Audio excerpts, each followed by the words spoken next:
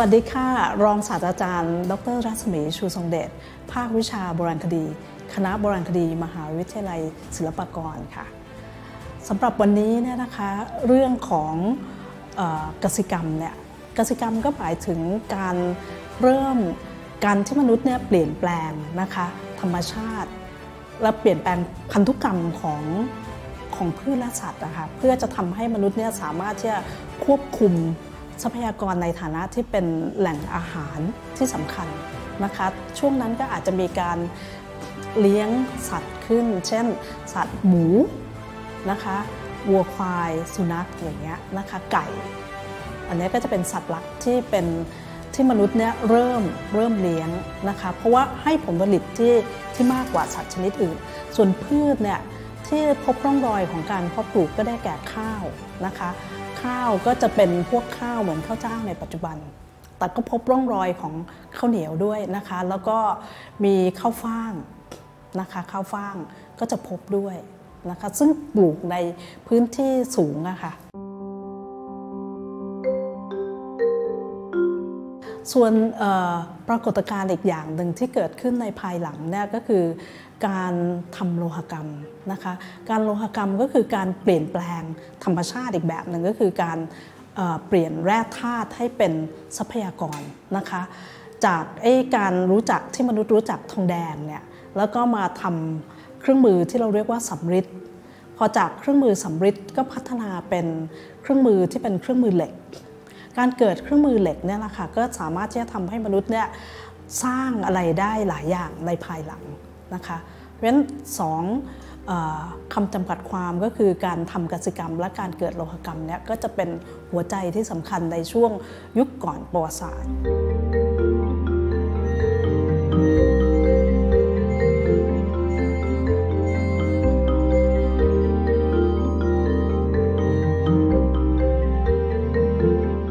ช่วงการเกิดกสิกรรมเนี่ยนะคะ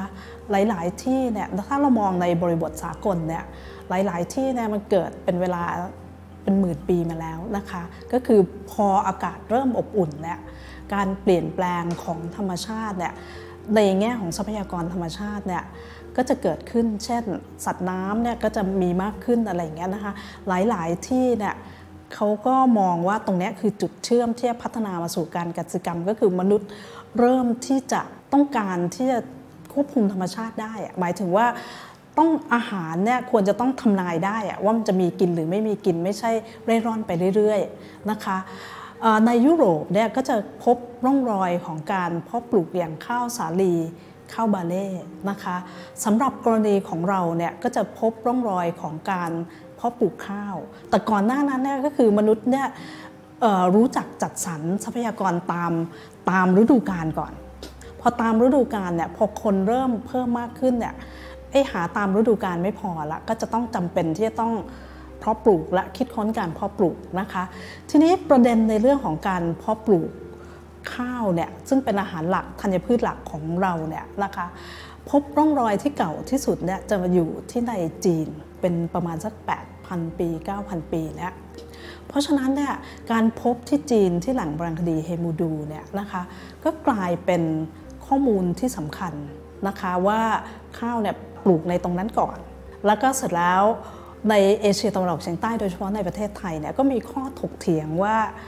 การรู้จักข้าวเนี่ยนะคะอาจจะเป็นการนำมาจากภายนอกก็คือมาจากทางเหนือ ซึ่งคือประเทศจีนในปัจจุบัน มาผ่านการเคลื่อนย้ายของผู้คน นะคะที่ค่อยๆเคลื่อนมา พร้อมกับนำนวัตกรรมใหม่นะคะนวัตกรรมในเรื่องของบางครั้งก็ภาชนะดินเผา หรือเครื่องมือขวานหินขัดนะคะและต่อมาก็คือนำนวัตกรรมเรื่องของโลหกรรมเข้ามาด้วย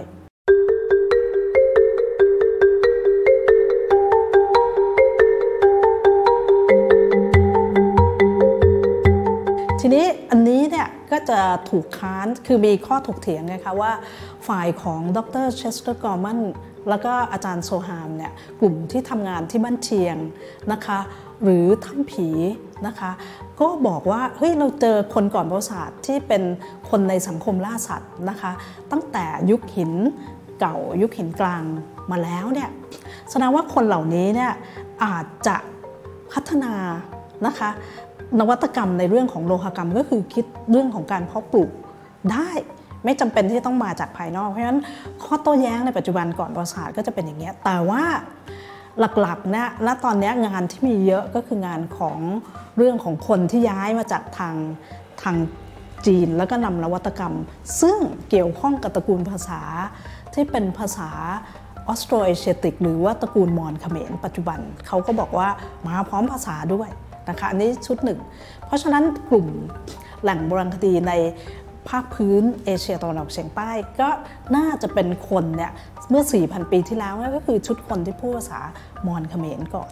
ก่อนหน้านั้นเราไม่รู้เลยนะคะ เราเริ่มเห็นความแตกต่างของทางวัฒนธรรม ความหลากหลายของผู้คนถ้าถ้ามองจากภาพใหญ่นะคะ อันนี้ก็คือเกิดเริ่มเกิดขึ้น เมื่อ 4,000 ปีนะคะ แล้วพอ 2,500 ปีเมื่อทำโลหะ ก็ยิ่งพบความหลากหลายมากขึ้น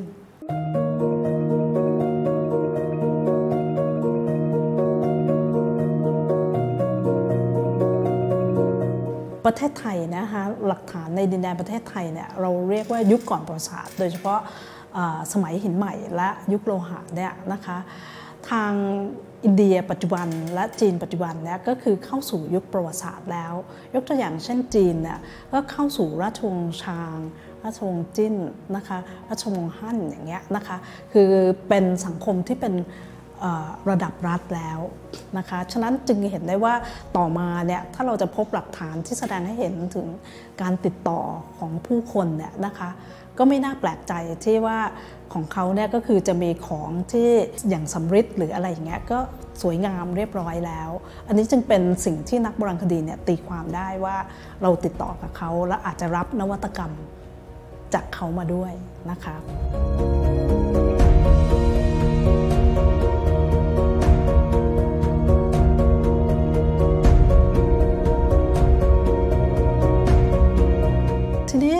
ถ้าเรามามองนะคะในเรื่องพัฒนาการของ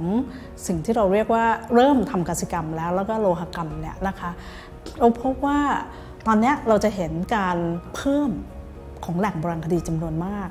ซึ่งนัยยะตรงนี้มันบอกเราถึงการเพิ่มประชากร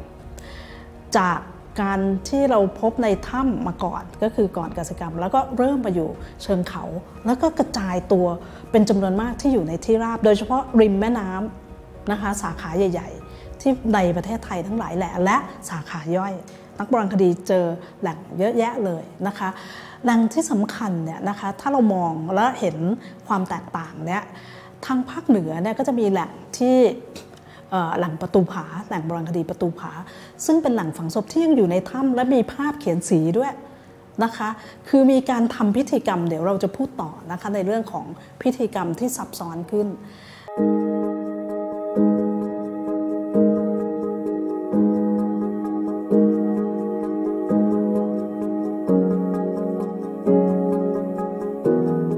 ในภาคกลางเนี่ยแหล่งโบราณคดีบ้านเก่าก็จะมีภาชนะที่เป็นหม้อหม้อสามขา ซึ่งก็บอกว่าคล้ายกับทางวัฒนธรรมลุงชานของจีนแหล่งโบราณคดีหนองราชวัตรที่สุพรรณก็จะเห็นเป็นแหล่งฝังศพเยอะมากเลย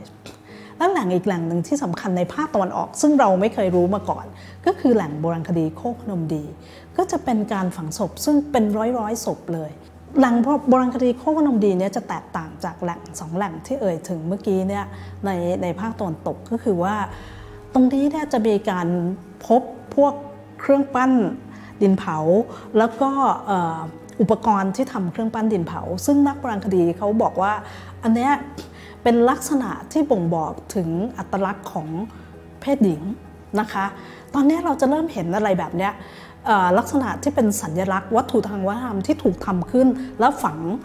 ที่เป็นระบบสัญลักษณ์เกิดขึ้นมาแล้วนะคะ แล้วก็มีเครื่องประดับ มีผู้หญิงคนหนึ่งนะคะที่อยู่ในแหล่งบราณคดีโคกพนมดีเนี่ยเจอลูกปัดเป็นแสนเม็ดเลย ที่คลุมร่างกายไปหมดเลยนะคะ อันนี้ก็เลยทำให้เห็นว่านักโบราณคดีผู้ขุดค้นตรงนั้นเขาบอกว่าสังคมที่ผู้หญิงเป็นใหญ่ อันนี้ก็ต้องถกเถียงกันต่อไปนะคะ แต่น่าสนใจมาก และอีกอันหนึ่งที่สำคัญสำหรับแหล่งโบราณคดีโคกพนมดี ซึ่งอยู่ชายใกล้กับชายฝั่งทะเลเนี่ยคือพบว่าเด็กเนี่ยตายจำนวนกว่าครึ่งหนึ่งนะคะในในจำนวนประชากรทั้งหมดร้อยกว่าโครงเนี่ยร้อยห้าสิบกว่าโครงเนี่ยเด็กเนี่ยตายเยอะมาก และการฝังศพเนี่ยก็จะเป็นการฝังศพที่แม่กับลูกอะนะคะผู้หญิงกับเด็กตายจำนวนมากเลย ซึ่งสาเหตุของการตายเนี่ยเราไม่รู้ว่าเกิดอะไรขึ้นนะคะ แต่โรคที่เราพบจากการวินิจฉัยโครงกระดูกเนี่ยก็จะเป็นพวกโรคมาเรีย หรือพบหลักฐานของโรคเลือดที่เกิดขึ้นตรงนั้น แสดงว่าประชากรของโคกพนมดีเนี่ยสุขภาพไม่ค่อยดีหมายความว่าไม่ได้มีชีวิตอยู่จนกระทั่งอายุมากแล้วนะคะ ตรงนี้ก็จะเป็นอีกแบบหนึ่งภาคตะวันออกเฉียงเหนือนะคะ ก็จะเป็นอีกแบบหนึ่งเช่นแหล่งโบราณคดีบ้านเชียง เริ่มมีร่องรอยของการอยู่อาศัย ของคนในสมัยหินใหม่ละนะคะโนนวัดก็เช่นเดียวกัน แล้วเริ่มพบพิธีกรรมการฝังศพที่ที่แตกต่างและหลากหลายนะคะของของโนนวัดเนี่ยคือการฝังศพผู้ใหญ่ในหม้อนะคะทั้งโครงเลย อันนี้ก็เพราะฉะนั้นนักโบราณคดีจะเริ่มมองเห็นแล้วล่ะค่ะว่าทั้งในเรื่องของการตั้งชุมชนมาอยู่ในที่ราบเนี่ยคล้ายกัน แต่แต่ความเชื่อเริ่มมีความแตกต่างแล้วนะคะฝังในหม้อฝังในที่ราบ แล้วก็ลักษณะโบราณวัตถุที่เป็นวัฒนธรรมเนี่ยพวกนี้คล้ายๆกับเครื่องแต่งกายของพี่น้องชาติพันธุ์นะคะมันจะเป็นตัวที่บอกถึงอัตลักษณ์ของชุมชน เราเห็นความแตกต่างและความหลากหลายมากกว่ายุคเกสิกรรมนะคะเครื่องมือเครื่องใช้อย่างเช่น ขวานหินขัดเนี่ยนะคะก็หลายคนสันนิษฐานว่าคล้ายๆกับจอบ หรือว่า ใช้ตัดต้นไม้ได้อะไรอย่างเงี้ยก็จะเป็นนวัตกรรมที่เกิดขึ้นในตรงเนี้ยเพราะฉะนั้นสิ่งที่เราเรียกว่าวัฒนธรรมหินใหม่ก่อนนะคะ ก็จะประกอบด้วยภาชนะดินเผา ขวานหินขัด การใช้เครื่องประดับนะคะ การใช้เครื่องประดับที่ตกแต่งร่างกาย แสดงว่ารสนิยมในเรื่องของความงามในแต่ละพื้นที่นะมีละใช้จากเครื่องประดับที่ทำจากหอย หรือทำจากหินนะเกิดขึ้นละเพราะฉะนั้น เวลาที่เรามองพัฒนาการที่เข้าสู่สมัยที่เราเรียกว่าโลหกรรมเนี่ยนะคะเราก็จะพบว่ามันมีความต่อเนื่องบางประการในรสนิยมคล้ายๆ กันเพียงแต่วัสดุเนี่ยมีความแตกต่างกันนะคะ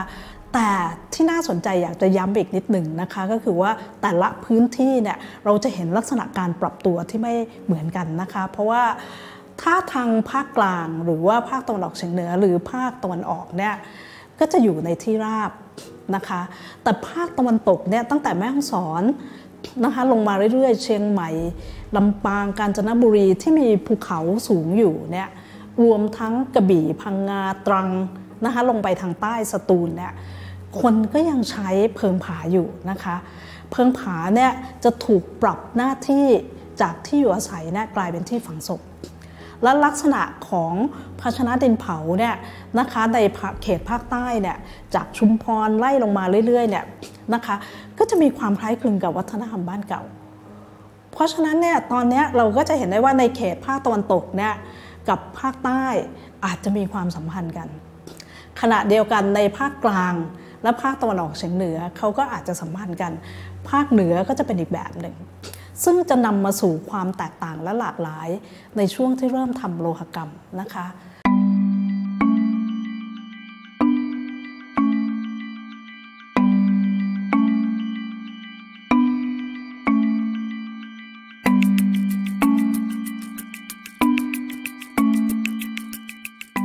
ทีนี้แหล่งโบราณคดีที่พบร่องรอยของความต่อเนื่อง จาก สมัยหินใหม่มาเป็นสมัยโลหะเนี่ยก็ได้แก่ส่วนใหญ่จะเป็นแหล่งในภาคกลางของประเทศไทย เช่น จังหวัดลบบุรีที่ท่าแคนะคะแหล่งโบราณคดีท่าแคแหล่งโบราณคดีบ้านเชียงอย่างเงี้ยนะคะบ้านเชียงหรือโนนวัดก็จะพบว่ามันมีความต่อเนื่อง แสดงว่า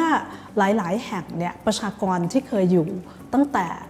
สมัยหินใหม่เนี่ยก็ต่อเนื่องพัฒนาที่ต่อเนื่องนะคะ ทีนี้ การเกิดโลหกรรมเนี่ยมันเกิดได้ยังไงอะคะเราคิดว่านักโบราณคดีอย่างเช่นอาจารย์สุรพลนาถพินทุเนี่ยนะคะก็มองเห็นว่าเทคโนโลยีเนี่ยในการทำโลหกรรมเนี่ยนะคะเราพบร่องรอยที่อยู่ในประเทศไทย เช่นที่ลบบุรีเนี่ยมีเหมืองนะคะมีแหล่งวัตถุดิบ แหล่งโบราณคดีที่ทองผาภูมิเนี่ยนะคะเหมืองสองท่อเนี่ยก็คือมีเป็นแหล่งนะคะแหล่งดีบุกอย่างเงี้ยนะคะ อันนี้ก็คือแสดงว่าตรงเนี้ยเรามีทรัพยากรแล้ว แล้วเราก็พบแม่พิมพ์ พบการถลุงที่ลบบุรีนะคะ พบแหล่งวัตถุดิบที่หนองคาย การทำเนี่ยเทคนิคอาจารย์สุรพลก็บอกก็เห็นว่าเป็นเทคนิคลักษณะเฉพาะเหมือนกับเอเชียตะวันออกเฉียงใต้นะคะ แต่เทคนิคแบบนี้มันก็มีลักษณะความคล้ายคลึงกับทางทางจีนด้วย ก็คือการทำโลหะแบบถลุงทางตรงนะคะ การหลอมอะไรแบบนี้ เพราะฉะนั้นเนี่ยในเรื่องของโลหกรรมเนี่ยนะคะแม้ว่าจะมีข้อถกเถียงว่ามันจะมีชุดของคนเนี่ยนะคะเคลื่อนย้ายลงมาพร้อมกับนำความรู้เรื่องโลหกรรมเนี่ยจากทางจีนเนี่ยเพราะจีนเนี่ยเราจะพบว่าช่วงเวลาก่อนหน้านั้นเนี่ยราชวงศ์ชางเนี่ยความรู้เกี่ยวกับเรื่องของโลหกรรมเนี่ยโดยเฉพาะสำริดเนี่ยโอ้โหแบบยอดเยี่ยมมากนะคะ รงนี้เนี่ยก็เป็นเลยทำให้คนเขามองว่าการเกิดโลหกรรมในพื้นที่ของเรา อย่างเช่นชาวไฮแอมเนี่ยก็บอกว่าไม่น่าจะเป็นไปได้ น่าจะมาจากทางจีนนะคะ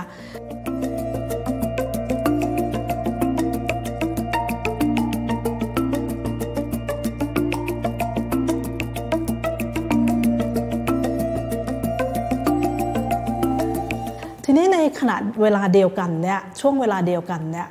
ในช่วง สำริดเนี่ยก็จะลบบุรีอะไรพวกนี้จะเป็นหลักเลยนะคะบ้านเชียง แต่หลังจากนั้นเนี่ยที่ทำเหล็กแล้วเนี่ยเราก็มีแหล่งวัตถุดิบที่เป็นเหล็กนะคะและแหล่งถลุงเหล็กด้วยที่อยู่ในประเทศไทย ภาคตะวันออกเฉียงเหนือเนี่ยหลายคนก็บอกว่าอาจจะใช้ศิลาแรงหรือเปล่านะคะแต่ในขณะเดียวกันเนี่ยช่วงช่วงยุคเหล็กเนี่ยสมัยเหล็กเนี่ยในเพื่อนบ้านของเราที่ เวียดนามเนี่ยนะคะในตอนเหนือเนี่ยก็มีการทำกรองมโหระทึกสำริดนะคะและกรองมโหระทึกสำริดเนี่ยก็ถือว่าเป็นของแพงอะนะคะของนอกอะไรอย่างเงี้ยซึ่งในประเทศไทยไม่ได้ผลิตต่ต่อมาเราพบร่องรอยของคล้ายๆกับแม่พิมพ์ของกรองมโหระทึกในประเทศไทยด้วยนะคะและแหล่งมโหระทึกอีกที่หนึ่งก็คืออยู่ที่วัฒนธรรมเดียนก็คือที่ยูนาน นะคะ เพราะฉะนั้นเนี่ย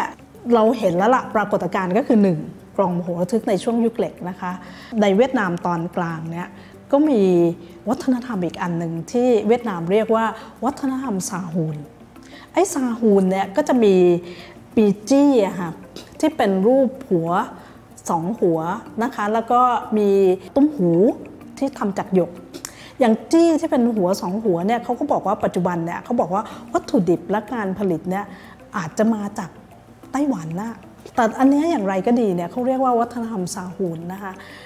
ทำไมตรงนี้ถึงสำคัญนะคะ การรู้เรื่องของเพื่อนบ้าน เพราะว่า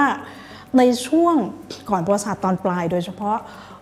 สมัยเหล็กเนี่ยเราพบร่องรอยที่ในแหล่งโบราณคดีอย่างอู่ทอง หลายแหล่งนะคะเราก็จะเจอ หลักฐานพวกนี้ ในขณะเดียวกันเนี่ยช่วงสมัยนี้ เราก็พบร่องรอยวัตถุต่างถิ่นอีก เช่นหินคาเนเลียน การพบเครื่องประดับที่ทำจากหินคาเนเลียนและอาเกตเนี่ยก็สันนิษฐานว่าพวกนี้น่าจะมาจากอินเดียเริ่มยุ่งแล้วนะคะ นอกเหนือจากความหลากหลายทางวัฒนธรรมที่เกิดขึ้นนะคะ ที่เกิดขึ้นในประเทศไทยหลาย ๆ แห่งเนี่ยภาคใต้ก็จะเจอร่องรอยของ หินคาเนเลียน เจอกรองมโหระทึกขนาดต่างๆนะคะอย่างเช่นแหล่งบราณคดีเขาสามแก้ว ฉะนั้นเนี่ยเราเริ่มพบว่าในช่วงโดยเฉพาะสมัยโลหะเนี่ยน่าจะมีการติดต่อระหว่างชุมชนจากทางด้านตะวันตก และตะวันออก ตะวันออกก็คือจีนเวียดนาม เวียดนามไม่ใช่มาที่เดียวนะคะทางบกเนี่ยส่วนหนึ่งเนี่ยมาจากพังภาคอีสานก็คือแม่น้ำแดงเนี่ย เข้ามาทางภาคอีสาน ขณะเดียวกันเนี่ยในทางทะเลก็อาจจะมีการมาจากภาคกลางและภาคเหนือด้วย เพราะว่าหลังโบราณคดีเขาสามแก้วเนี่ยเจอทั้งทั้งแบบกรองมโหระทึกด้วยนะคะ แล้วก็มีพวกลูกปัดนะคะ ลูกปัดที่เป็นจี้เป็นอะไรที่คล้ายกับทางเวียดนามตอนกลาง รวมทั้งภาชนะดินเผาบางอย่างเนี่ยที่เขาเรียกว่าคาลานาย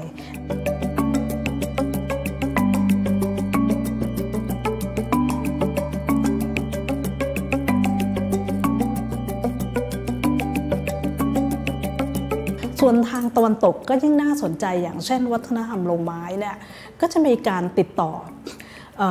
ผ่านมาทางลุ่มแม่น้ำสารวินนะคะ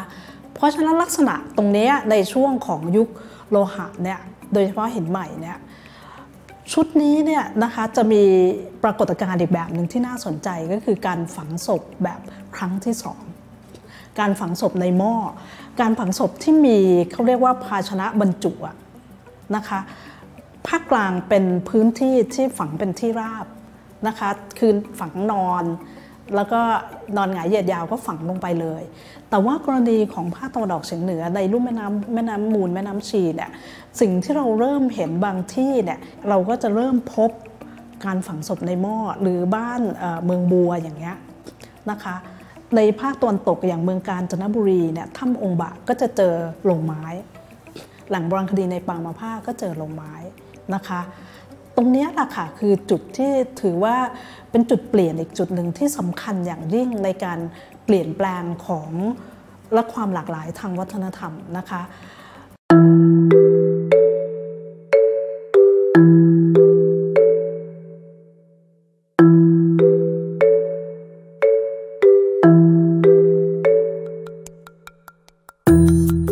ในเรื่องของสังคมเนี่ยแหล่งโบราณคดีในสมัย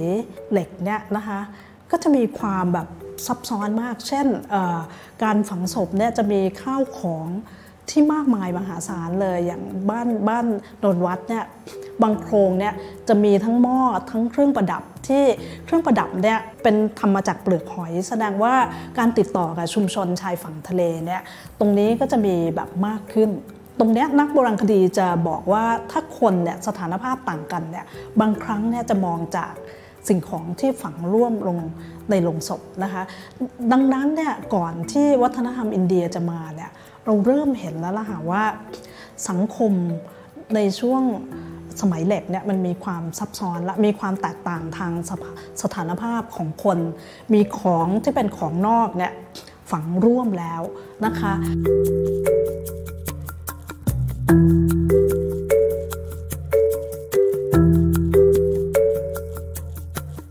กโบราณคดีที่ขุดค้นแหล่งโบราณคดี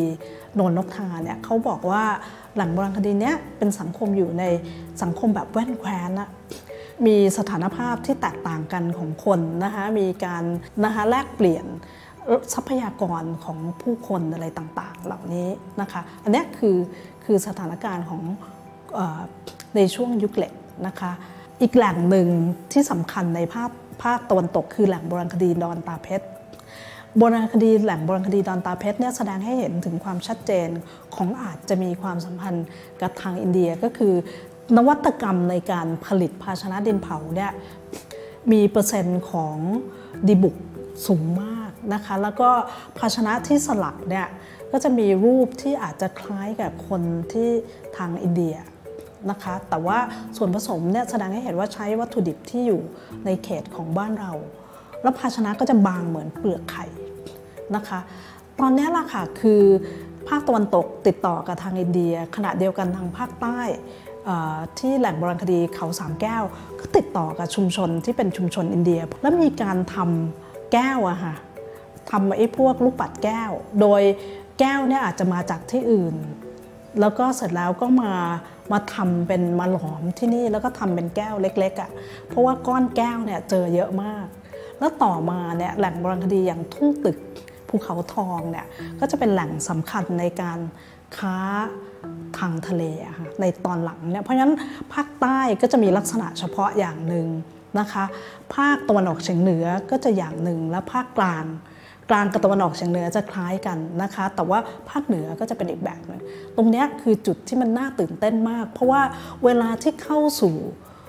พัฒนาการที่เป็นรัฐและเข้าสู่สมัยประวัติศาสตร์ ในสมัยทวารดีนะคะ ก็จะมีลักษณะของความเป็นท้องถิ่นที่ปรากฏอยู่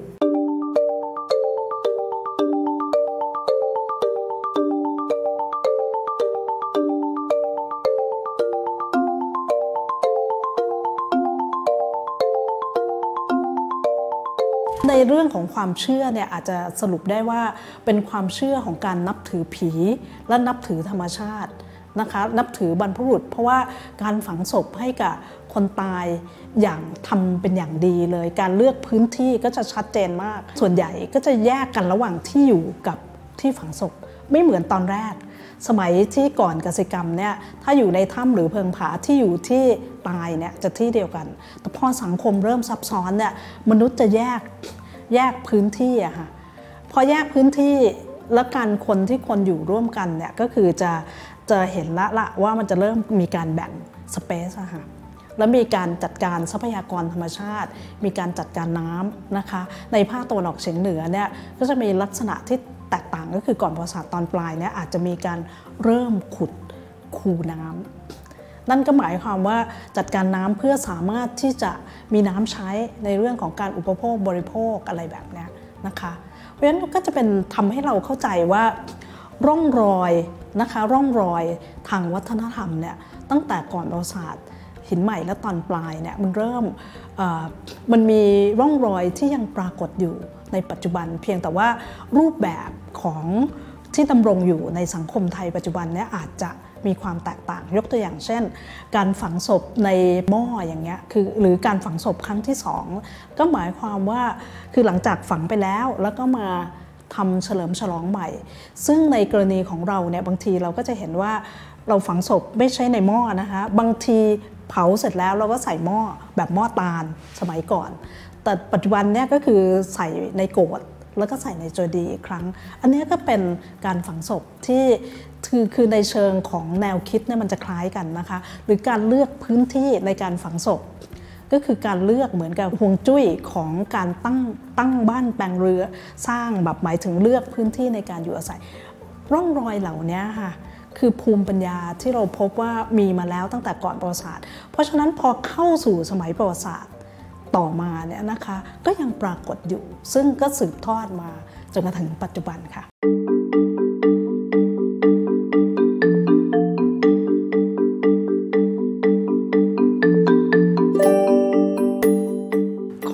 ที่พูดมาทั้งหมดเนี่ยนะคะก็คือข้อมูลที่สังเคราะห์ในภาพรวมใหญ่ ๆ จากแหล่งโบราณคดีไม่กี่แหล่งนะคะที่มีการศึกษาวิจัยอย่างต่อเนื่อง